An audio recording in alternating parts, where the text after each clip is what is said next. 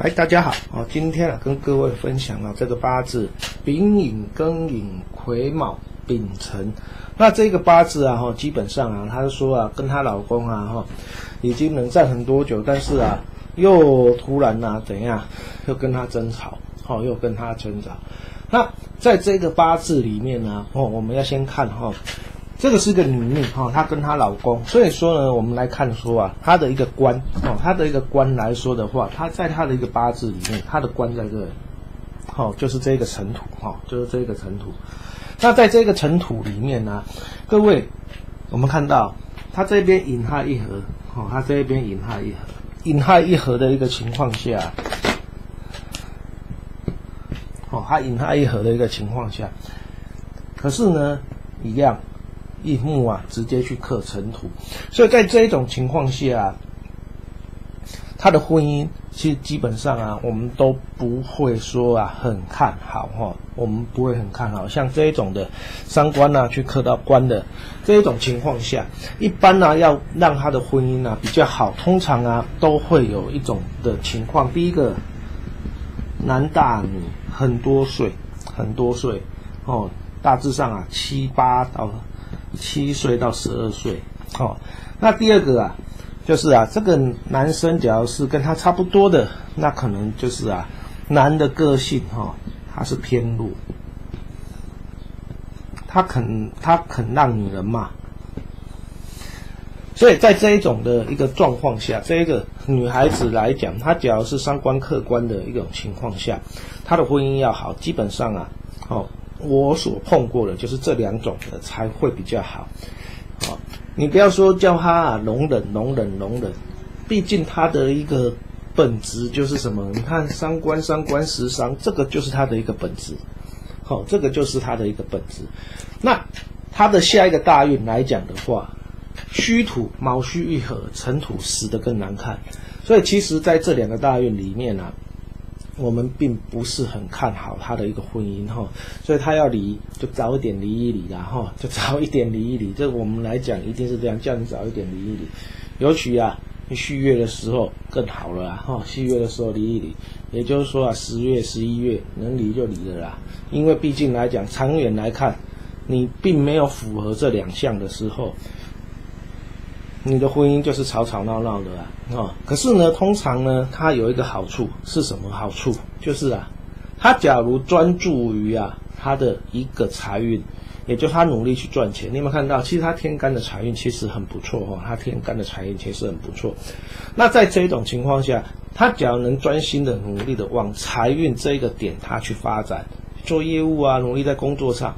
各各位你要知道这种的哈。三观客观的女生，她在职场上会发光发热，但是啊，她不是那一种人家讲的那一种公司一路一路爬升这种的。大部分女孩子都是属于业务主管居多哈，业务主管、行销主管这一类的哦。她不是那一种领导一个这个部门，大部分都是以什么？不是对内的，这个部门大部分都对外的，所以大部分都是以业绩部门。哦，为主的创意部门为主的，哦，不是内部管理为主的，哦，所以说他只要能够呢，往这一个方向去走，其实基本上他的八字其实是不错的，哦，其实是不错。那当然呢，对他的一个婚姻来讲，他也不要对男方太过苛求。什么叫对男方太过苛求？你看，在三观见官的一个女孩子里面，她必须要符合这两项，她才会比较好。那。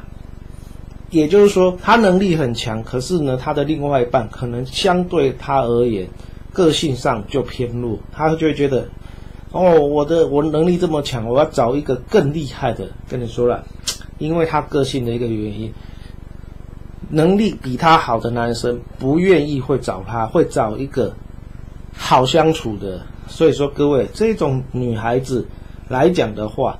通常她的婚姻上就必须要这样，能够另外一半能容忍她的，但是呢很难，所以呢，通常她的另外一半个性要柔弱，可能在成就上也不怎么样，但是呢，对于一个现在的家庭来讲，可能啊就不是在男主外女主内，也可以相反过来，就是女主外男主内哦，男生啊就比较偏向于啊在在家里面的这个角色。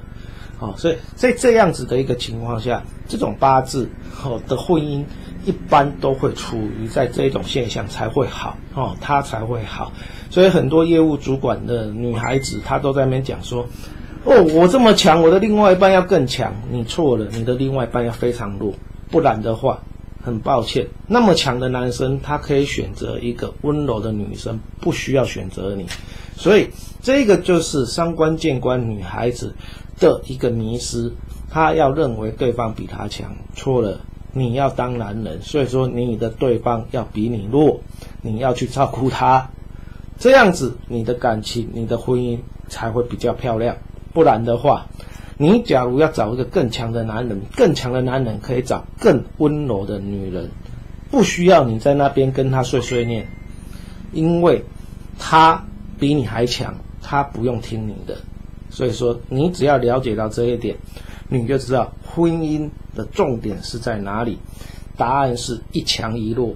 这种女孩子强，她的另外一半就要弱；那你女孩子你本身弱，你另外一半就强。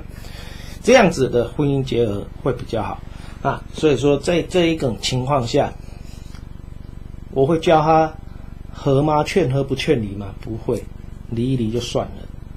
离一离就算了，去找一个肯听你的话，这样就行了。好，那今天就跟各位分享到这边，大家下一次有缘再见，拜拜。